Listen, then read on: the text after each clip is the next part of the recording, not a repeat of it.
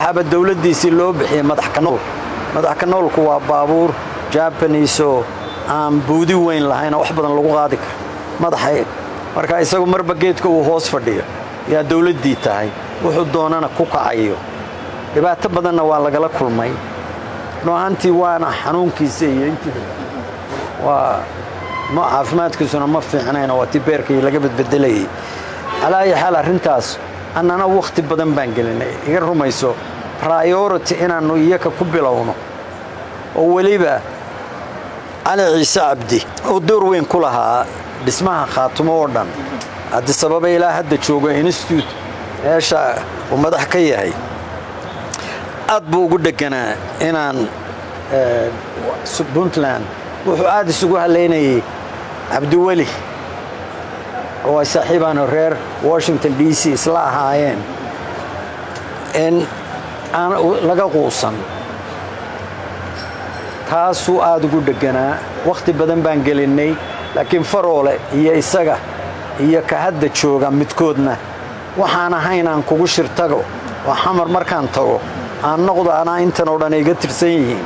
Wixii aan xamar ka rabo marka waa inaan ka hela ama prime minister ama madaxweyne waa sallaan dadka meesha joogaan dadun loo isticmaalayo. Wax meesha yaalla. Puntlandaa la sheegayaysa meesha ku murmaysa. Wax on the ground. Maamul jira oo puntland leedahay. Ma arkaysid? Ciidamo ay leeyihiin. Ma ay jiraan?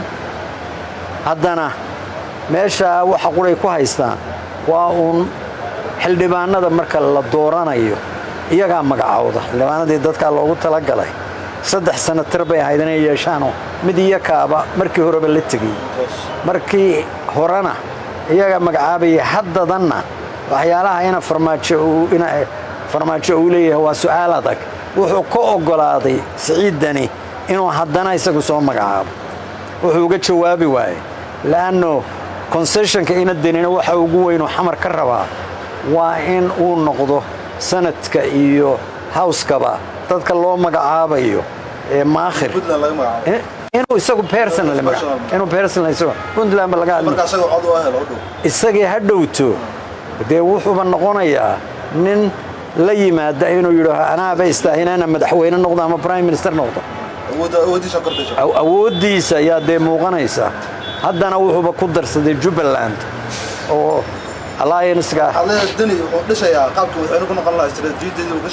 isaga iyo isaga iyo ina faroole iyo cabdiweli prime minister wuu ahaa.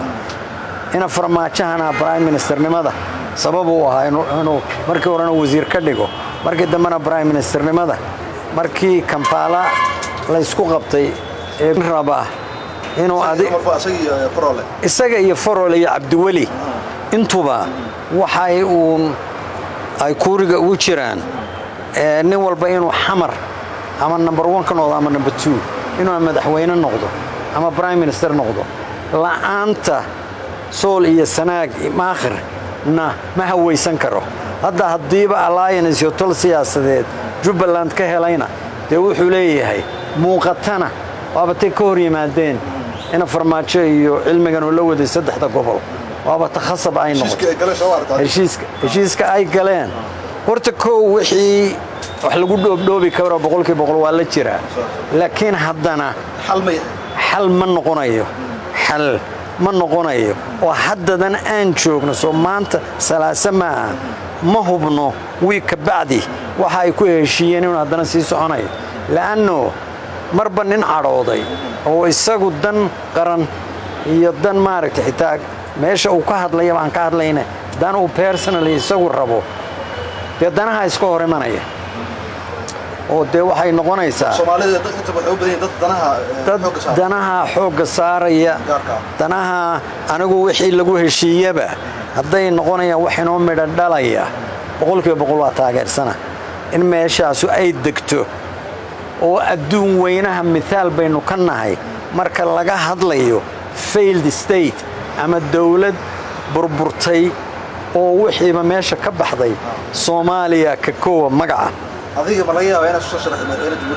Maya anigu han siyaasadeedoo dambe igu hadhay da' baanahay geeska afrikana wax badan oo fursadaha hadda ka muuqda oo siyaalo badan oo taariikhdu waxyaalaha horeynan arki jirin baa inoo muuqa etoobiya lafteedii baa gelgelanaysa dadka hadda aaggan aan joogna ee maamulkan soomaaliyeed oo haddaba ayba tahay meesha qudheen nabad iyo xasiloonay ka muuqato.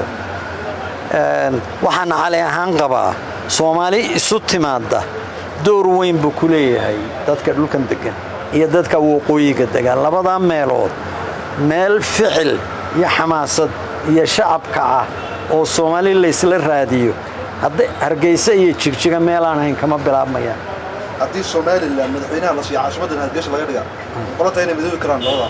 Wallaahi layslaba soo qaad sidaan maqlayo. Laakiin bahasha ku soo boodada laga fiican. Nimankanu dagaal bay galeen. Garya gardarraba. Dadkoodana waxbay ku kiciyeen. Wakhtay qaadanaysaa wixii in fahamka dadka lagu noqdo oo si dhaba wax looga dhaadhiciyo oo loo tuso danta ay hadda intay haystaan inay u fiican tahay in ay mid weyn ka mid noqdaan iyaku ooba ay liidershibka la rabo hadday madaxweyne iyo caasimadiiba la siiyo. Dee laakiin laba ninoo qol madow isku xidhay. Arrintaa ma go'aamin karaan.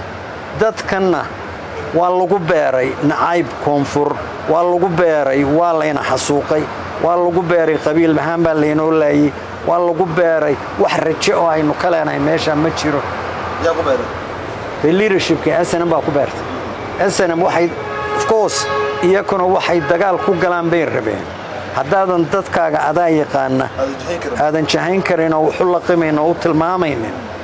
Dee halkanba onlf lagu dabamari karaa? Maahee dhibaatooyinka hadda somalilan gudaheeda ku jira umaba gelayno. Laakiin waxay micno ku yeelan karaan oo iyaka laftoodu isku duubnaan karaan hadday wax somalilan ka weyn ka mid yihiin oo danaho ay leeyihiinna iyaka oo ay soo jeedaan oo ilaahay caqli iyo xikmad haynagu wada mannaystee ay xisaabtamayaan inay waxay diideen iyo waxay ogol yihiin.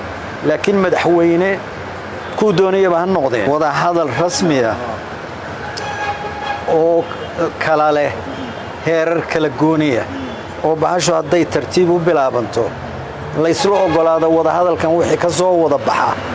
Aan sugno laakiin haddii laba madaxweyne ay kuba sii wax ku sii isla soo qaadqaadi karaan waa meesheeda. Siyaasiyiinta inta badan hadda waxaa kulma waa siyaasiyiinta. Shirka ugu dambeeya hadda madaxweyne farmaajo iyo sidoo kale wafdi hogaaminaya madaxweyne musabixi soo lama dhihi karo laftooda. Farmaajona wuxuu ka cabsanayaa in waddanka hadday laqala qaybin lahaa somaliland taleefon la siin lahaa. Waxuu ka cabsanayaa shacabka muqdisho iyo sidoo kale shacabka soomaaliyada koonfureed. Musabixi laftiisana si la mid ah inuu shacabka somaliland sidaa sheegtay eshanam inay ka dhaadhiciyeen in dadkan la xasuuqay. Inay soomaaliya la midoobaan inayna dadkaan rabin. Labadooda dhinac soo muuqan siyaasiyiinta dhinac cusub dee haye siyaasaddii hadday taa tahay si fiican baadba u dhigtay. Sow in la faguro oo si tartiiba oo hadday noqonayso technical committees hadday noqonayso wixii soomaaliya arrimaheeda danaynaya oo si kalsooniya looga wada shaqeeyo laakiin nin safiira ama laba madaxweyne yaa yidhi wixii maanta ka dambeeya camankaan iska shumaynaynaa waa isu soo boodna ma shaqaynayso war xisbiyadii iyo shacabkii iyo saxaafaddii iyo waxaan in la bisleeyo weeye in la bisleeyo. Yaa loo xalka ugu dhowo wuxuu noqon karaa waxyaalaha haddaba lagu tuurtuurayo. Ee ah haddaba waxyaalaha la sheegsheegayo waxaa la yidhi madaxweyne inuu noqdo qof waqooyiga laga doortay inuu madaxweyne noqdo. Waqooyi kale maahee qolyaha reer sheekh saxaaq qof laga doortay inuu noqdo. Laakiin laba term ama saddex term baa laysku hayaa ma siddeed sanay noqono waa laba term. Mise labiyo toban bay noqonaysaa waa saddex term. Yaa laga doodayey.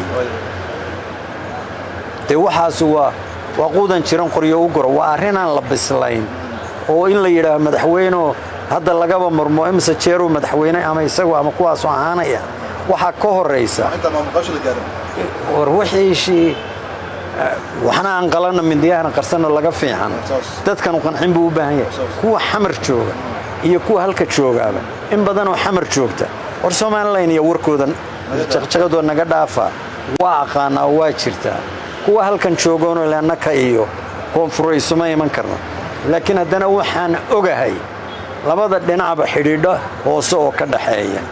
Oo qolyo somalilanta ah oo xamar dowladnimo iyo qarannimadaas maahee qabaa'ilka qaarkood ama xisbiyada qaarkood ku xidhan oo kala doodaya oo siyaala u arka wada shaqayntoodu inay danahooda ku jirto. Kuwa xaggaa joogaana kuwo laftoodu in badan oo hadda booramadan iyo khaasatan hargeysa. Xaasaskoodii kuwa ugu magac dheer xaasaskoodii iyo reerahoodii wuxuudi ay u joogaan. Haddaba bahasha dhuumaalaysiga laga fiican.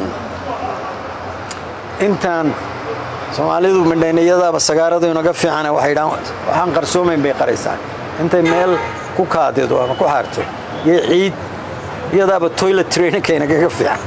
Innagu waxbaba haddii baadiyaha la joogo banka loo baxo waxbaba lama qarin. Macnaha inay isku yimaadaan si rasmi ah loo wada hadlo. Si rasmiyana loo hadlo wixiina la dhiso wixiina foundation uu yeesho asaas inuu yeesho wakhti bay qaadanaysaa. Dadkana loo bisleeyo la qanciyo waana qabaa. Dadkaa reer wooqooyigu waa la qancin karaa anigu wataan xali ahaan qabo waa la qancin karaa waxa dantoodu ku jirto iyaka oo soo jeeda oo xisaabtamaya waa la qancin karaa. Laakiin bahal lala dhuundhuumanayo. In shaki sii galo iyo nacayb mooye. Karfogaasha waa in la sii kala fogaado mooye. Wax- waxay ku imanayso wanaagii ma u jiro. Wax natiijo ka soo baxaya leanna waa ognahay Eh, farmaajo iyo abi iyo muuse biixi february waxay ku kulmeen adisababa waxbaaba hadal baaba bilaabmay. Ka bacdina waaba tii jabuuti laysugu yimi. Khudbadihii la akhriyayena waa maqlaynay. Waxa la leeyahay waa laysla soo dhoweeyey ee bulshada qolyahan international communityguna ay dhinacyada hayaan ay wadwadaanna waa maqlaynaa. Wixii laysuma keenayo. Marka run ahaantii opportunity waa muuqdaa laakiin si deggan oo xikmadaysan in looga doodo oo loo lafaguro oo iyada oo la miir qabo. Wixii lagu heshiinaya markaa lagu heshiiyo yahay. Nacam doorka iyagu wuxuu yahay. De annaku somalilanna dhul ahaan waa nahay. Haye, taariikh ahaanna waa nahay. Laakiin haddana dee qabaa'il baanu nahay qabaa'il ingiriisku wada xukumi jiray waxaan la ogayn dadkaas sool iyo sanaag u dhashay ingiriiska heshiis lama gelin. Dagaalkii maxamed cabdilla xasan yunbay dhulka ku soo galeen qabaa'ilka kale sayla ilaa laga ceelaayo qabiil walba oo deggani oo reer sheekh saxaaq iyo warsangeli heshiisyay la saxeexdeen. Xuduudka caadiga ahaa. Iyo degmooyinkan iyo sidan waxu jireen nimankan waana laysiyaa dhulkana waa la wada degaa. Sida puntland macnaha ay u tahay puntland ayaa dhul ahaan idinkana somaliland u tihin puntland mar walba koonfur bay ahayd. Mar walba talyaanigii baa Idinka xukumay. waqooyi raacsantiin marka. annaku mar walba waqooyigaan raas.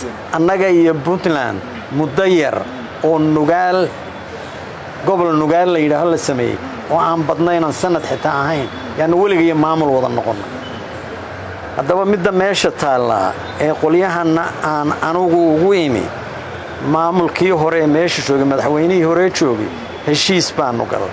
Muddo saddex sano ah yaanu waddanka dibaddiisa isku arkaynay. Cabdisababa jabuuti nairobi imaaraat heshiis baanu oktoobar labaatankeedii laba kun iyo sagaal iyo tobankii ku gallay caynaba heshiisku waa whatsapp eh, youtube-kana waa ku jiraa heshiiskaas waxay ahayd kow somalilan la wada leeyahay inaanu dhisno. Marka ma somaliland la wada leeyahay oo haddii ictiraaf raadinaysana la- la la wada raadiyo haddii gooni la ahaanaya gooni la ahaado miyaad ku heshiiseen waxaanu ku heshiinay exactly somalilan ama wax la wada leeyahay oo cidina marti ayan ahayn cidina magan ahayn waa in la wada dhisaa.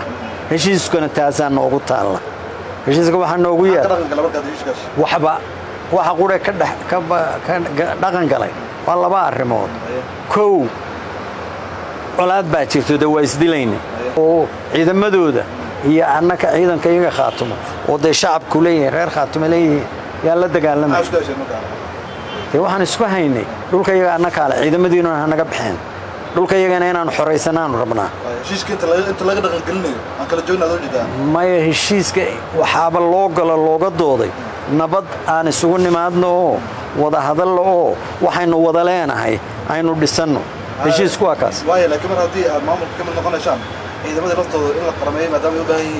dee taas waa arrimaha detailska loo gelayo.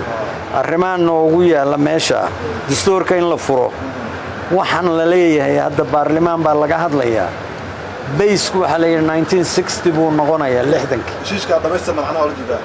heshiiska in la dhaqangeliyo. Markaa wixii kale ciidamada in la qarameeyo. Ciidamada tan iminka somalilanna miisaanka weyn ku ah. Ciidamo beeleed yaa dhulkaa jooga la caagaystay. Ilaa lix kun iyo siddeed boqol oo ciidana yaa la leeyahay baa sooliya sanaag somalilan mushahar siisaa. Taxriirka somalilan iyo waxna waa noo bilaabmeen. Kuma aanana kala kicin waxaana ku rajo weynahay. Inay iyakana dantooda ku jirto annana ku jirto. Heshiiskaasu inuu hirgalo. Hadduu hirgeli waayo de muusa bidiino ciisa bidiino waa la iska kala tegaya waxaannu ku heshiinnay oo aan anigu cali ahaan oo khaatumo matela aan hargeyso ku joogayo. Haddaanan ku heshiina ma jirto waxa uun meesha taalla.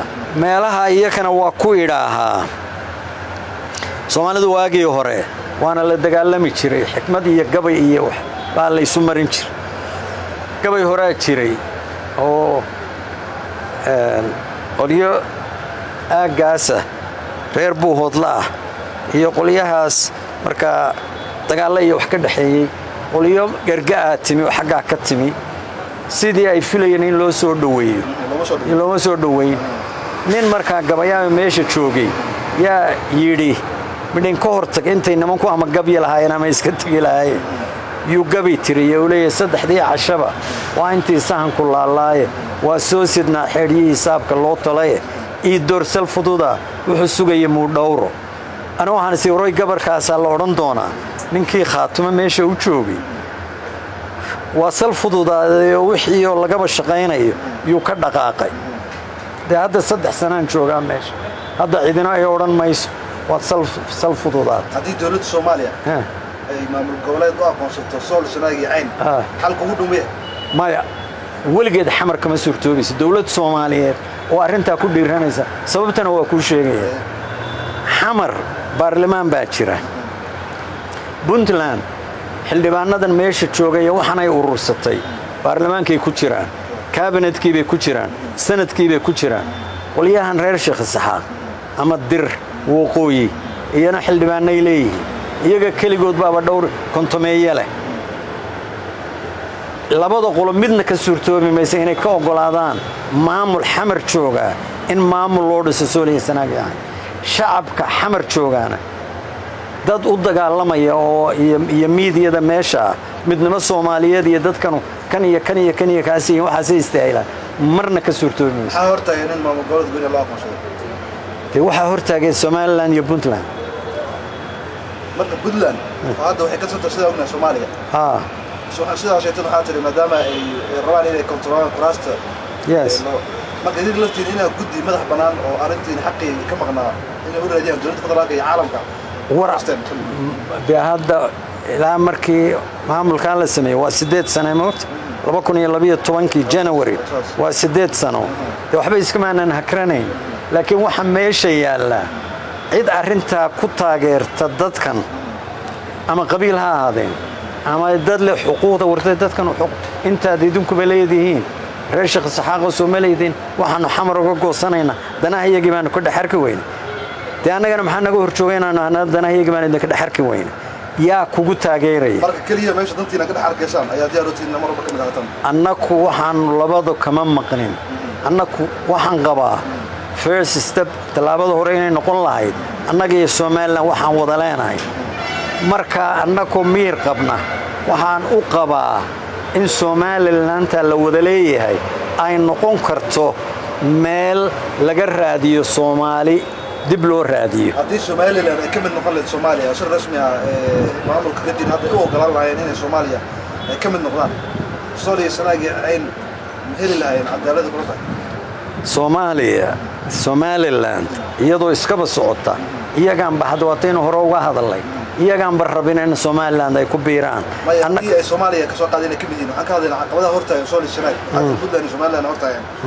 haddii maadaama dhulka hadda somaliland ay maamusho. Haddii somaliland ay ogolaan lahayd nidaam eh, isla ogolyahay in soomaaliya ay ka mid noqdaan ama la midoobo ma isleedahay culeyska hadda soo lishanaag iyo ceesha ma ka digi lahaa? Demay marka annaku waa arrintu intaa waaba ka sahlanaanaysa. Haddii soomaaliya markaa laga wada mid noqdo dee soomaali weyntaasaan wax la qabnaa markaa muranba meesha ma yaallo. Annaku waxaannu maamul gooniya ku noqonaynaa. Marka ayn labadan maamulna hortaagan yihiin xamarna ayn waxba noo hayn markaasaannu rabnaa maamul gooniya natacaamil maca shaytaan markaa wix allaala wixii annana danaha iyaga aanu ku gaadhayn sax waxaannu ula jeednaa. Ilan qolo walba danaheeday ka fikiraysaa meeshii allaale meeshay dadka iyagu ku badbaadayaan. Hadda soomaaliya oo aanba fiicnayn ama somalilanba aan fiicnayn wax badani oo yaa weliba laga sii liitaa. Waxaanu hadday sii socdaanna waa ka sii darayaan. Haddaan hadda wax laga qabanna midda qurhe ayuu noqon doontaa oo aan hadhaynin dadka mar walba mar walba mar walba waxa u furani waa inay dagaal ka xigaan. Haddii laga gudbo maamul goboleed oo loo gudbo nidaam xisbiga doorasho cod iyo qofa la gaaro. Soo- saali- sooliya shanaaga ceen dan mu tahay yaa gaadhsiinaya dee taa haddii tusaale ahaan dowladda soomaaliya ay gaarto eh, qof iyo cod in la doorto. Ah, oo maamul goboleedyada meesha ay ka baxaan oo awooddii maamul goboleedka meesha ay ka baxdo qof walba codkii voodka ku soo sooliya dee taas waaba inta la rabay dee laakiin intaan nool ahay.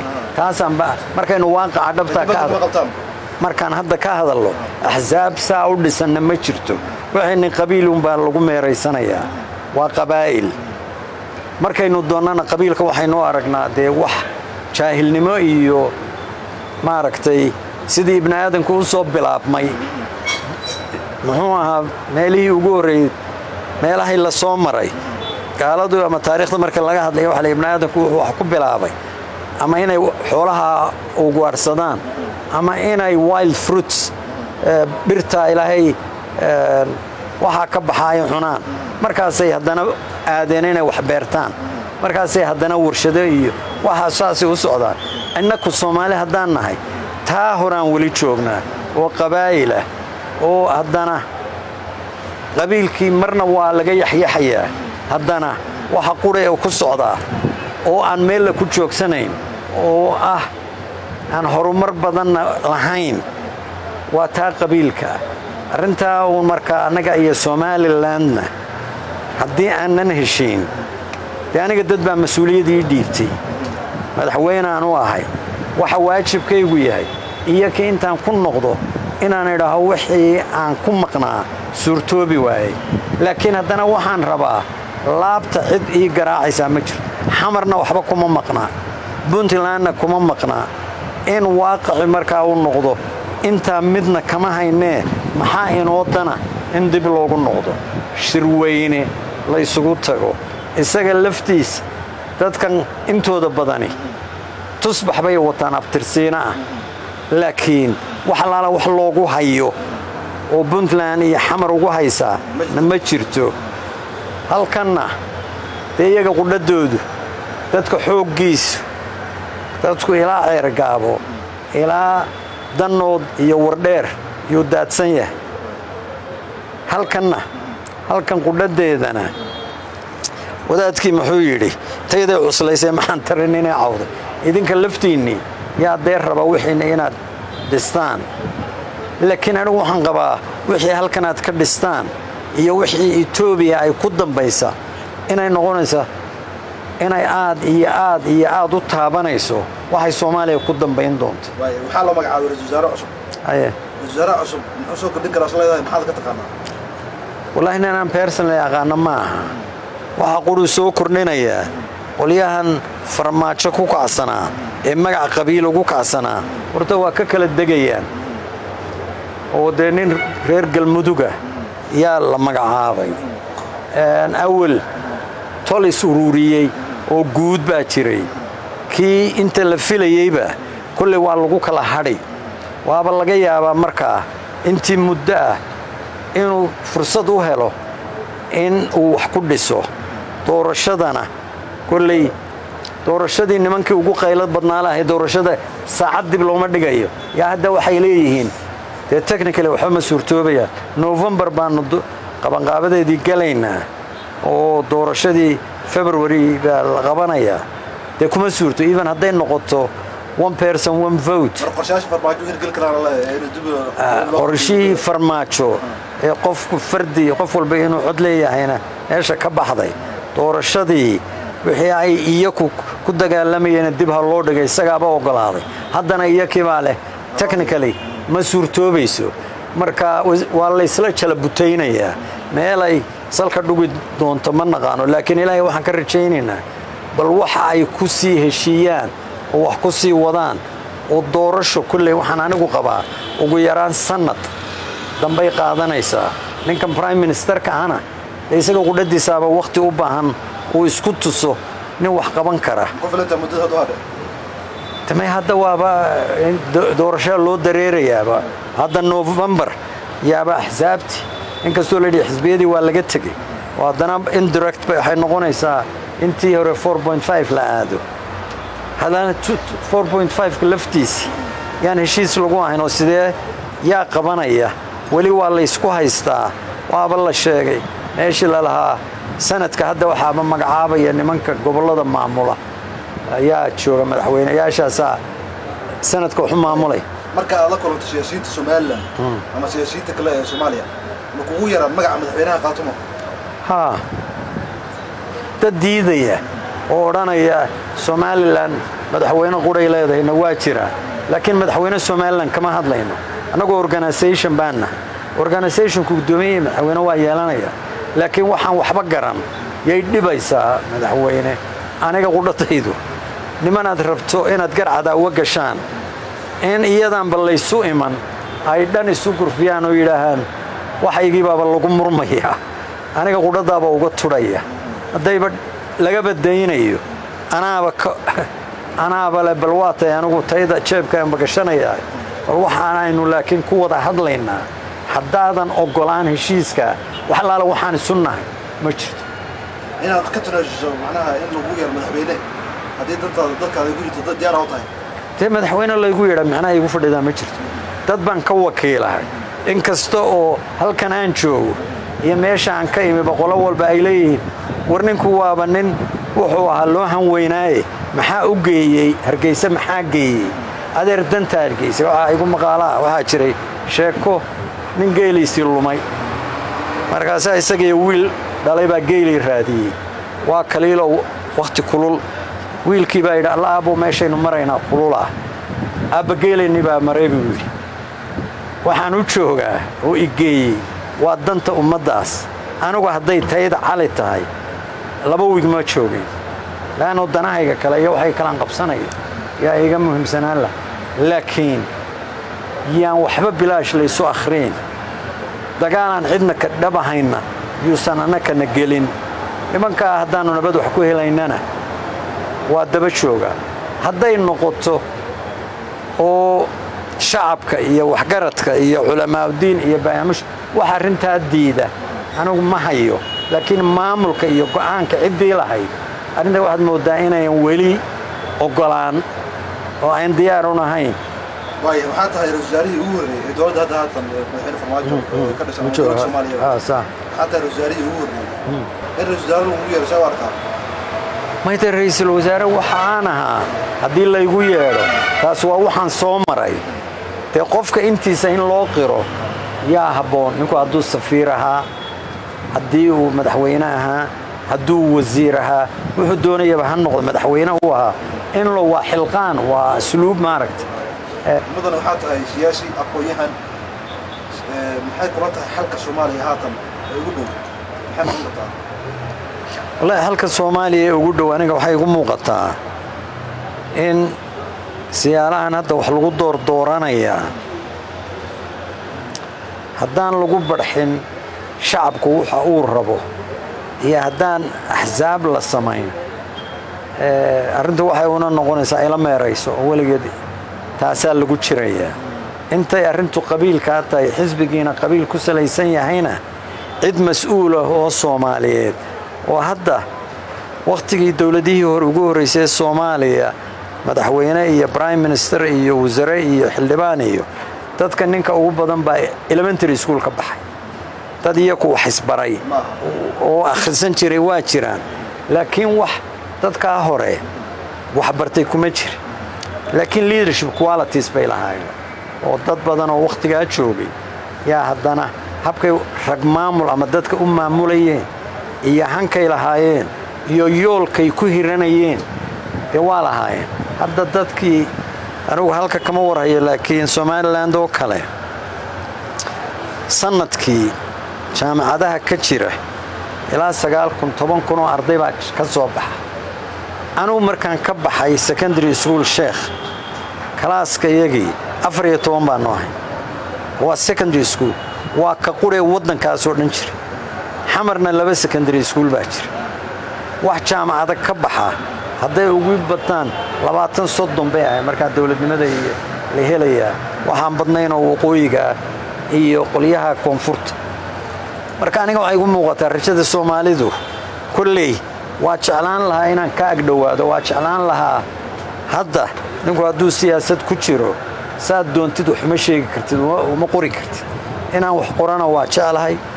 Meel jaamacad ama jigjiga ha noqoto ama adisababa ha noqoto meeshay doonaysaba ha noqotee haddiiba arrintaa aan wadaa ay shaqayn weydo waa jeclaan lahaa meelaan u rogto geeska afrikana aanan ka fogaan. Oo arrimahan ka socda ama warkeeda inaan hayo ama aan wax ka qoro waa jeclahay. Hadda waxaa ku sugan tahay dowladdeegaanka soomaalida. Tan isbeddelka kadhac kuu muuqdo isbeddela wallaahi dee runtii waxa aan maqlaabaa horta nabaddaa ugu weyn laakiin de halkana kama go'naa waxaa sababa ka socda. Halkan nabadi hadda waa muuqataa oo gobolka qura ee ilaa heer nabadi ka jirto. Weeye horena markii horeba soomaalidu dee waa ahaayeen shantii qowmiyadood ee maamulka iyo waxaan dhisay.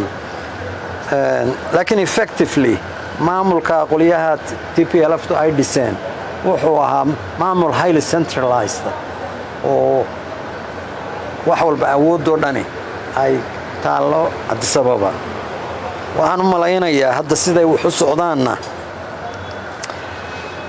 waa ilmi roganaysaa waa foolanaysaa laakiin waxay dhali doonto. Runtii wax gooni u ah kelinka ma noqonaya iyo ismaamulka soomaaliyeeda. Waa waxaa sida etoobiya iyo geeska africa o dhan wax ku dambeeyaan laakiin hadda jabhaddii iyo maamulkii inay wada shaqaynayaan oo laba xisbi inay la heshiiyey oo understanding uu jiro oo maamulkana xisbigan xaakimka uu ka mid yahay qolyahan jabhadduna xisbi mucaarida ay yihiin laakiin cabdisababana iyo xaggaa sarena in la isfahmay ay heshiiyeen halkanna dee maamulka ay heshiiyeen oo ay hadda wax carqaladihii ayan muuqan taas runtii waa kaa isbeddelka ugu weyne muuqda iyo nabaddan dee dhulka taalla. Oo hadda. Haddii jabhadduna meel si ay wax u aragto maamulkana si kale u arko waxay u noqon lahayd dee jugjug meeshaada joog xilligii wasaaraha soomaaliya aad ahayd. Sida ogna waxaa yaraa mas'uuliyiinta federaalka ee ku jira soomaalida.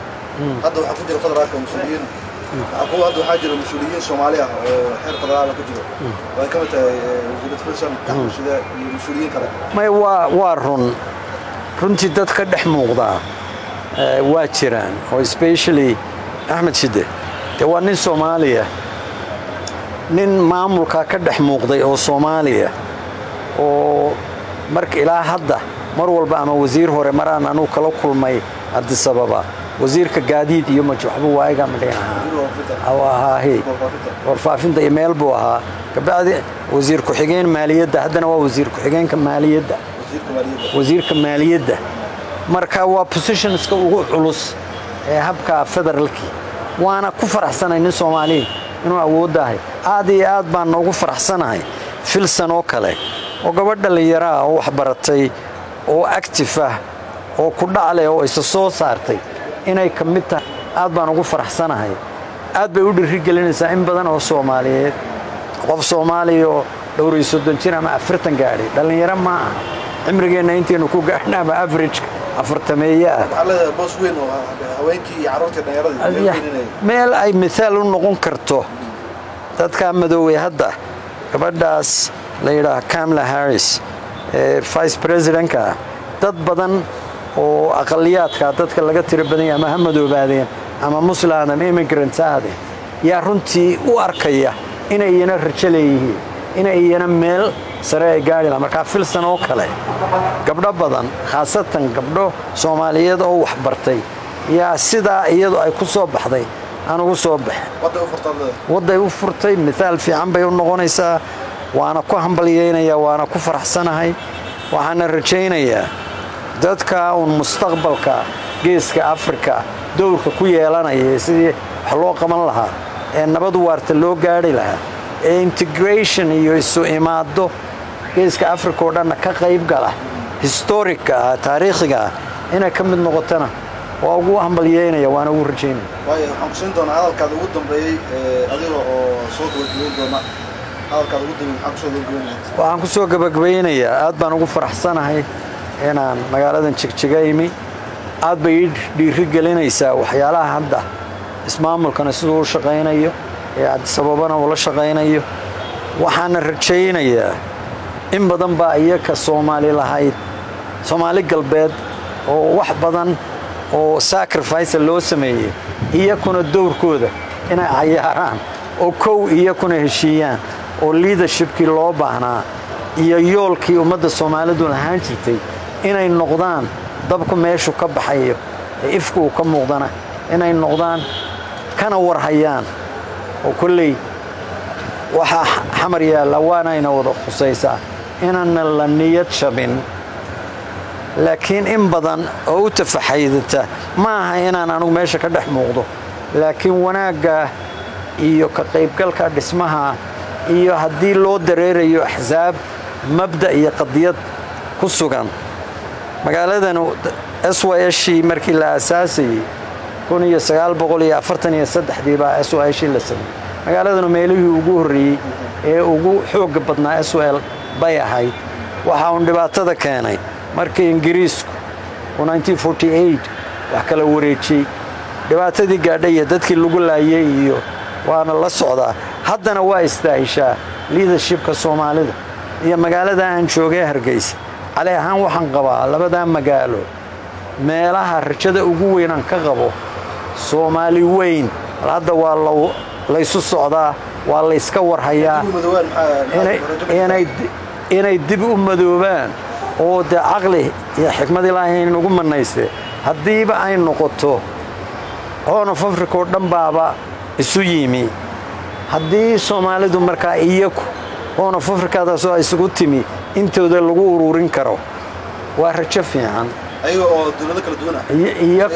Iyo- hadday doonayso hal dowladda hadday noqonayso meeshan aynu joognaa wanaagga horn of africa door weyn bay ku leedahay. Le'annoo dadkanu haddayan raalli ahayn haddayan kalsooni jirin haddayan u arkin dantoodu inay sababo ku xidhan tahay soomaali kale oo etoobiya u arkaysa dan ay leeyihiin inay taallaana ma jirto markaa warkayga waxaan ku soo koobaya wallaahi dee dowlad deris la yahay weeye.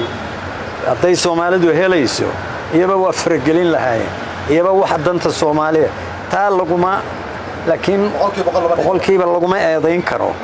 Laakiin dee iyaga sidii hore lama waa run waa jirtaa gobolaysigan iyo welwelka jubbaland laga qaba iyo ciidamada etoobiya joogay iyo waa ogahay waxyaalaha dareenka waa u qabaa iyo welwelada muuqda. Laakiin anigu waxaan qabaa danta etoobiya iyo maamulkan hadda joogaana kolley inta aan dhawaaqooda iyo aan ka maqlayno wax runtii aan ku hiran karno oo yoola waa u egya oo integrationkan iyo halaysu wada yimaado oo hadday ama noqoto eritrea ama etoobiya oo isu dhan ama soomaali. Shirarkaa iyo hadallada meelaha laga sheegayaa waa warkaasu inay sii socsocdo waa rajaynaya. Saa isaga warhayaano de haddiiba la midoobo. Haddii even economically la midoobo. Waa maqlayaa etoobiya weligeedu waa ku taamaysay inay dekad yeelato. Soomaaliyana waxay dadka soomaalidu leeyihiin waxa ugu weyn waa baddaas danaha la leeyahay dekeduna macna waxay yeelanaysaa. Haddii suuq weyne ka dambeeyo suuqii weynana waa etoobiya ilaa afrikadaas. Integration lagu raalli yahay. Hadda aan midowno madaxwe muxuuha yeelanna dowlad qura. Waxaanba ka hadlaynay eh, hargeyse iyo khaatumo ama hargeyse iyo xamar. Ta adisababana kaba fog. Laakiin wax lagu hiran karo oo danteennu ku wada jirta waa istahasha waata adigaa mudan. May aad baad umahadsantay mahadsanida wasaare hawshaa fiicanna sii wada. Waa mahadsantahay intaa waxay noo eeg daawadayaal barnaamijkii siyaasiga iyo siyaasadda oo aad ka daawanayseen tv-ga caalamiga nabad t v oo maanta noogu ahaa marti. Siyaasi weyn sidoo kalena ee ahaa ra'iisul wasaarihii ugu horreeyey soomaaliya dowladda haatan jirta cali khaliif galeer. Inta barnaamij kan oo kale aan kulmi doono waxaan ku dhaafeynaa daawadayaal sidaas iyo nabadgelyo